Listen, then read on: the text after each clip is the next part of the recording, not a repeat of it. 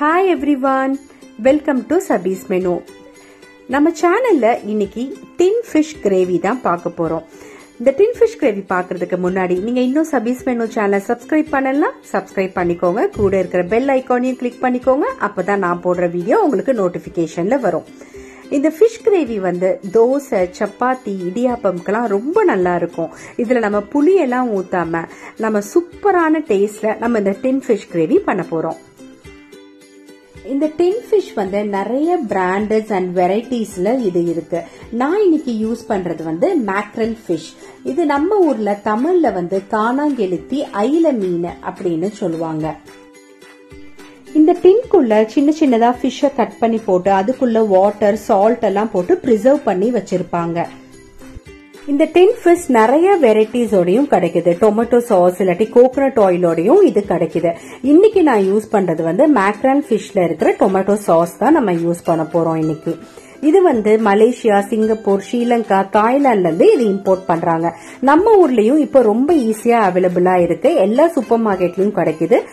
அமேசான்லயும் அவைலபிளா இருக்கு.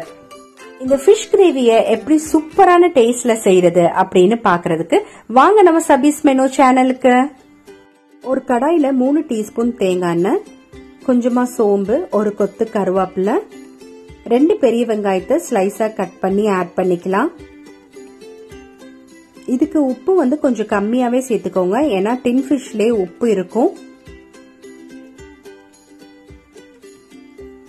நான் ரெண்டு பிஞ்ச் சால்ட் மட்டும் ஆட் பண்ணிருக்கேன். ஒரு தக்காளி ஒரு பச்சை மிளகா. இதெல்லாம் ஆட் பண்ணி நல்லா வெங்காயம் தக்காளி எல்லாம் எண்ணெயில வதகணும்.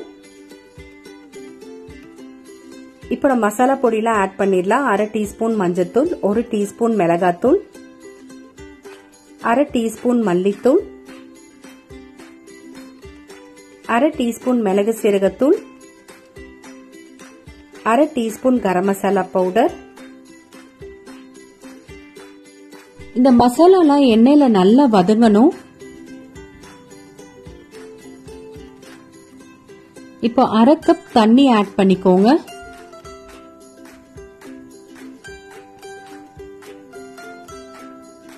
இந்த தண்ணி நல்லா கொதி வந்தது அப்படின்னா மசாலா ஸ்மெல் எல்லாம் போயிடும். இப்போ நம்ம வச்சிருக்க டின் ஃபிஷ் இதுல ஆட் பண்ணிடலாம் இந்த டின் ஃபிஷ் வந்து டொமேட்டோ சாஸோட இருக்கிறனால நல்லா கிரேவியா இருக்கு.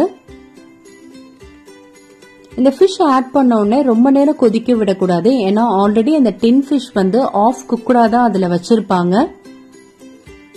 ஸோ ஒரு டூ செகண்ட் மாதிரி கொதிச்சா போதும். இப்போ இது கொதி வந்ததுக்கு அப்புறம் நம்ம வந்து சிம்ல ஒரு ஒன் செகண்ட் மாதிரி வைப்போம். வச்சோன்னா நல்லா எண்ணெய் பிரிஞ்சு வரும். எண்ணெய் பிரிஞ்சு வந்தோடனே ஆஃப் பண்ணிடலாம். பாருங்க நல்லா இப்ப எண்ணெய் பிரிஞ்சு வந்துருச்சு.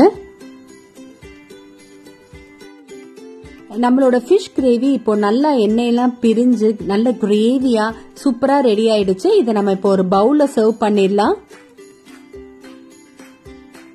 இந்த ஃபிஷ் கிரேவி வந்து இடியாப்பம் சப்பாத்தி எல்லா ரொட்டிக்குமே இது ரொம்ப சூப்பரா இருக்கும். நீங்களும் இந்த ஃபிஷ் கிரேவியை ட்ரை பண்ணி பாருங்க. ரொம்ப சிம்பிளாவும் ஈஸியாவும் செஞ்சிடலாம். உங்களுக்கு இந்த கிரேவி பிடிச்சிருந்ததுன்னா ஒரு லைக் பண்ணுங்க. இன்னும் நீங்க சபீஸ் மெனு சேனல் சப்ஸ்கிரைப் பண்ணலாம் சப்ஸ்கிரைப் பண்ணிக்கோங்க.